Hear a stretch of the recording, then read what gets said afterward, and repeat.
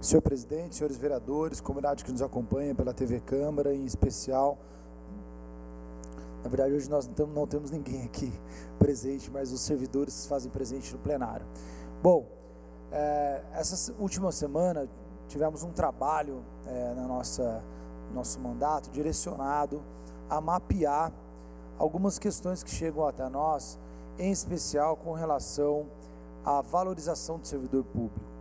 E uma das demandas que nós tivemos, bastante preocupado com a questão da saúde da nossa cidade, foi atender o pedido de uma série de moradores do, de moradores não, de funcionários da Santa Casa que gostariam de conversar conosco para relatar a atual condição da Santa Casa. Então nós temos uma foto aí, só para ilustrar. Então pode passar a próxima, por favor. Então vejam que a foto está borrada a cara, né? Porque o que eles narraram para a gente, vocês vão entender porque a gente borrou a cara de todo mundo que estava presente, tinham 12 pessoas, é exatamente para identificar para eles não sofrerem represálias, para não serem demitidos, porque a situação é extremamente grave. Pode voltar aqui. Nessa reunião, esses diversos funcionários da limpeza, da cozinha, da enfermagem, de, de diversas áreas, né, relataram para a gente. Pode voltar aqui, por gentileza? Pode voltar aqui, por gentileza, TV Câmara? Isso, obrigado.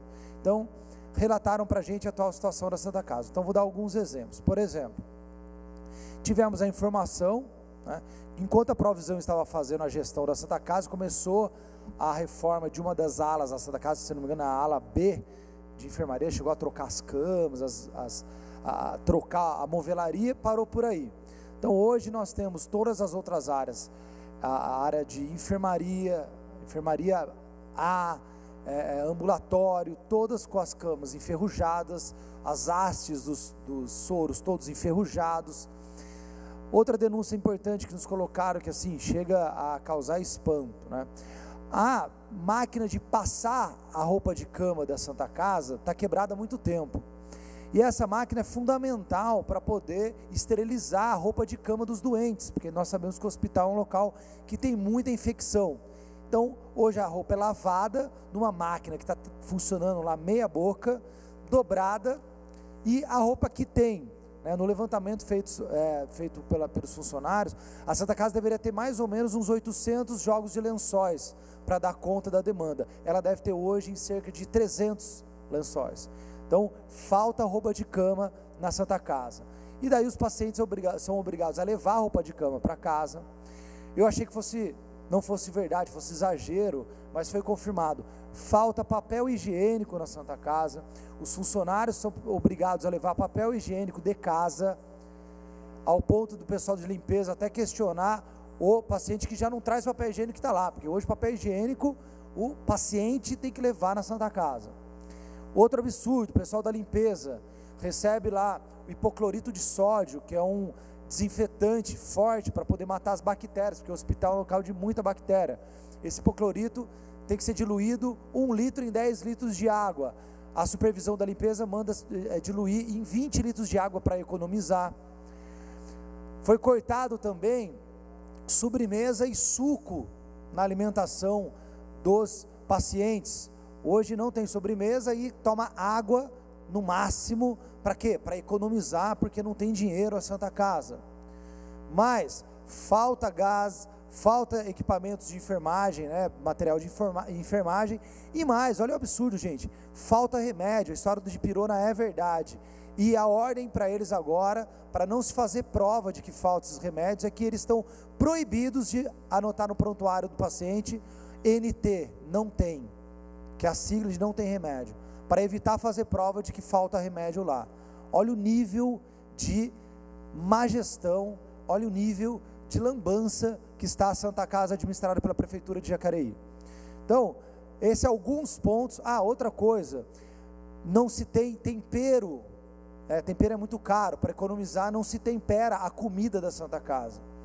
Então, para vocês terem uma ideia, domingo agora não tinha mistura, a, a comida dos funcionários foi arroz, feijão e ovo. Gente, olha o nível que está a Santa Casa.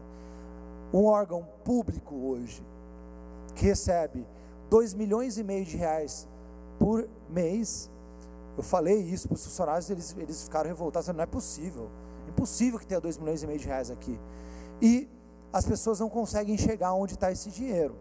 E por fim, uma, uma pessoa da, da tesouraria nos explicando, além de ser mal gerida, tanto é que foi mandado embora pela milionésima vez agora, o outro o superintendente da casa. A prefeitura em 16 anos acertou um até agora. Então, eles encontraram agora uma saída. Né? Além de gerir mal a Santa Casa, a moça da tesouraria estava falando que a Santa Casa recebe menos que ela poderia receber do SUS, sabe por quê? Porque as fichas que geram o pagamento do governo federal para o governo municipal do SUS são mal preenchidas. Então, se uma pessoa entrou lá com uma, sei lá, com um infarto e atropelou na Santa Casa, quebrou a perna, isso deveria gerar uma nova remuneração de um outro serviço. Não é feito isso. Faz tudo numa ficha só, pela, pelo que começou, e não se cobra todos os serviços prestados do SUS de dinheiro que viria do governo federal. Então existe uma deficiência na gestão do registro do serviço que o SUS deveria pagar. Então, gente, não salvou nada. Né? Escutei lá os 12 funcionários e saí bastante assustado com a situação e vamos apurar isso. Não deu tempo de registrar porque foi ontem a reunião, a, por meio de pedidos de informação e até para ver se não é o caso de fato de nós reabrirmos ou tentarmos abrir a CPI da Casa, porque fato específico é o que não falta agora, gente. Tem bastante coisa para a gente discutir. Na sequência, confirmando essa mes esse mesmo modelo de gestão da Prefeitura de Jacareí, nós temos um segundo ponto, por favor, coloque aí a técnica a foto.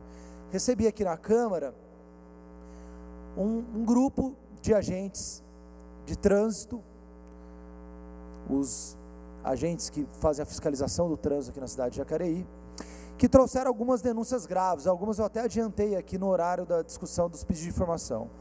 Pode voltar aqui, por gentileza. A primeira, a prefeitura está alugando carros da empresa Camilos. Essa empresa fornece carro alugado e a ideia de se alugar carro é que o fornecimento do carro vai ser 100%. Né?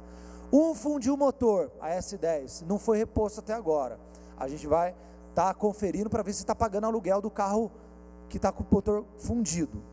A segunda é uma Kombi que dizem que a porta não abre, de um dos lados parece que não abre. E quando tem blitz junto com a guarda municipal, sequer consegue acompanhar os carros da guarda municipal de tão ruim que está a Kombi. Dois carros alugados. Então, só o fato do carro que está alugado estar tá ruim já mostra que não está tendo gestão e está tendo benevolência à empresa que não está entregando o que foi contratado. Vamos apurar esse pedido de informação também. Mas o mais engraçado, pode colocar a técnica aí, foi o laudo, né? A exemplo do que a prefeitura fez no começo de 2013, com todos os funcionários dela, mostrando o desrespeito que ela tem com o servidor público, além de pagar muito mal, fizeram um laudo por meio de uma empresa particular sobre a insalubridade dela, pode passar. E esse laudo diz o seguinte: Aí está a função do agente de trânsito, né, que é estar na rua fiscalizando, evitando as pessoas serem atropeladas. Pode passar a próxima. A próxima. Além de confirmar, pode passar a próxima. Além dos agentes, dos agentes de trânsito confirmarem para a gente que existe uma ordem, sim, uma meta de multas por dia, que é passado pela chefia, uma meta de multas, igual o vendedor, ele tem uma meta a ser atingido por, de multas por dia, confirmado pelos agentes que fizeram questão que não precisava nem esconder a cara. Eles têm uma meta de aplicação de multas por dia, então a indústria de multa agora sim é verdade. Também esse laudo constatou, olha o absurdo, gente, que eles não devem receber o adicional de insalubridade porque eles não estão expostos ao sol. Passa a próxima foto. A exposição de sol do agente de trânsito é eventual. Aí o exemplo, é eventual, de vez em quando. Então cortaram o adicional de salubridade, enquanto estão pintando, colorindo Santa Casa, estão tirando o direito dos trabalhadores, dos trabalhadores, esse mesmo. Então, na sequência, a gente está encaminhando isso para poder apurar, por final, por gentileza. Pode passar a próxima, por gentileza? Eu queria falar sobre o recadastramento do IPTU, aquela as fotos aéreas lá que a prefeitura pagou para empresas Geomais, mais de um milhão de reais para pegar a foto do Google e lançar e refazer a medida que o Google já faz isso gratuitamente, por ter colocado uma sequência de estagiários para fazer isso. E a prefeitura, os, os moradores que entraram com o pedido para corrigir as medidas, que foram centenas que estavam erradas, não tiveram a resposta sobre esse recurso, e para finalizar, senhor presidente, tiveram o carnê emitido errado pela segunda vez, com as medidas que o próprio morador já tinha dito estava errado. Então, lamentamos isso, estamos à disposição aqui no gabinete para orientar como você deve, junto à prefeitura, defender o seu direito. Obrigado e até a próxima. Queria pedir a gentileza, senhor presidente, na sequência, no, no horário da liderança sou eu, se eu posso já emendar. Então tá. Mudando agora, no horário da liderança, o momento onde nós devemos tratar sobre as questões partidárias, eu queria aqui fazer um encaminhamento. Primeiro, agradecer o apoio expressado aí pelo diretório do PR, pela união que se firmou aí entre o PR e o PMDB em Jacareí, em projeto é, de, de, um projeto de realmente transformação e um trabalho para um projeto diferente para a cidade. Mas eu queria falar sobre um encaminhamento que a diretoria executiva do nosso partido tomou de abordar um tema bastante interessante aqui, que é a questão da do cenário nacional, né, das questões de corrupção envolvendo o governo federal. Primeiramente, nós tiramos o encaminhamento, né, e já era meu posicionamento pessoal, de total intransigência a qualquer ato de corrupção praticado a qualquer por qualquer partido e qualquer homem público. Tanto é que, acho que foi ano passado, fui um dos autores também numa moção de repúdio ao presidente da Câmara, Eduardo Cunha. Sou veementemente contrário ao que o governo federal tem feito para não analisar o pedido e todas as irregularidades do presidente do Senado, Renan Calheiros, que eu acho que deve ser apurado, e se tiver coisa errada tem que ser caçado, extirpado da vida pública, Eduardo Cunha, Renan Calheiros e quem seja. Por quê, gente?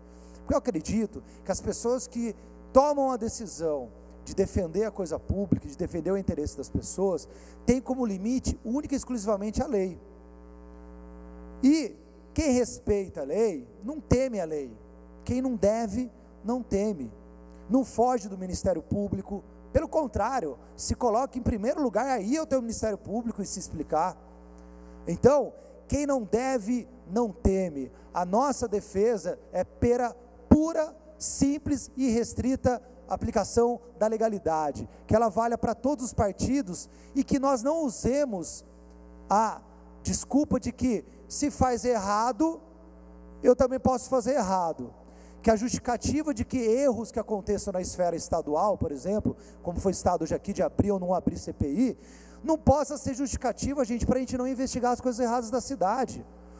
No, a nossa defesa enquanto partido é que o partido seja uma parte da sociedade e lute pelas coisas que são melhor para a cidade, e a lei existe exatamente para definir o que, que é bom, o que, que não é. O que, que não é fora da lei, é ilegal. Então, a legalidade tem que ser o discurso único entre todos os partidos. Essa é a nossa defesa.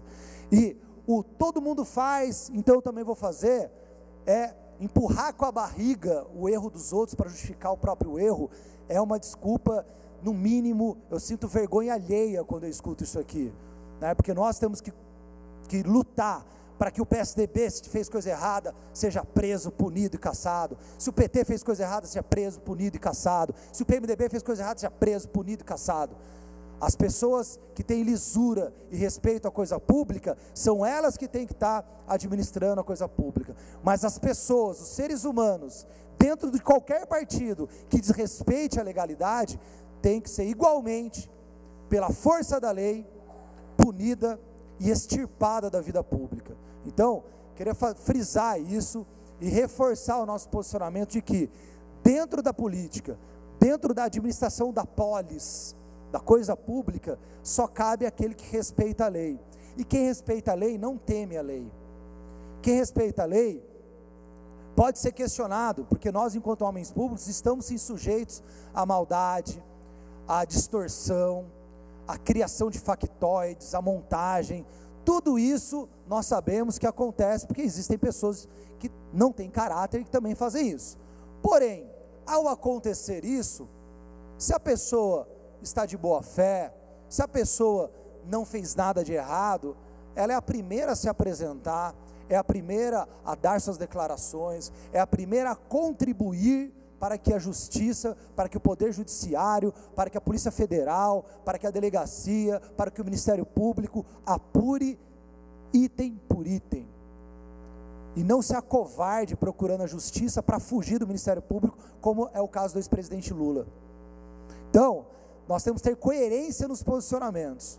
A lei tem que ser igual para todos. Quem foge da lei, alguma coisa de errado tem. Quem foge da lei, dá direito a todas as pessoas o direito da dúvida do caráter. Porque a lei tem que ser igual para todos. Se não tem medo da lei, procure, preste as informações Respeite as instituições que com muita luta nós conseguimos reconstruir depois da ditadura. Então, que a Polícia Federal continue fazendo o seu trabalho, que o Ministério Público faça o seu trabalho e quem deve, pague. Quem não deve, não teme e dê a sua cara e prove isso. Esse é o caminho da democracia, esse é o caminho do Estado Democrático de Direito.